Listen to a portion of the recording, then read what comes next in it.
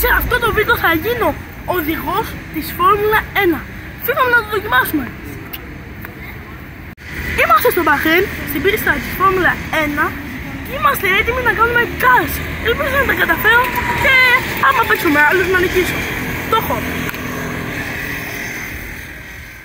Είμαστε έτοιμοι, μόλις έχω βάλει τη στολή μου. Θα παίξω με κάτι άλλο παιδάκια.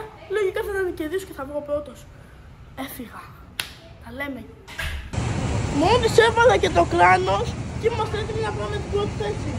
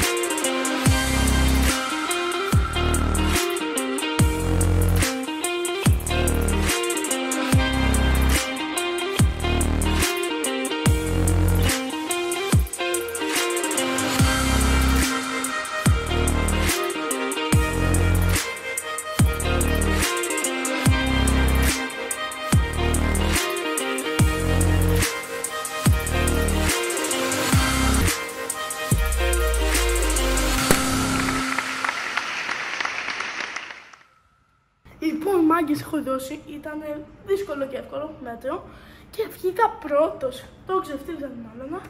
Έκανα κανένα τρία drift, αλλά όλα οκ. Στην ήμουν πιο προσεκτικός διότι δεν ήξερα την πίστα και ήθελα να τη δω λίγο. Και μετά δυστυχώς όταν την έμαθα, άρχισε να βρέχει, αλλά δεν πειράζει, βγήκα πρώτος. Αυτό όλοι like και subscribe, μάγκες, μην το ξεχνάτε. Bye!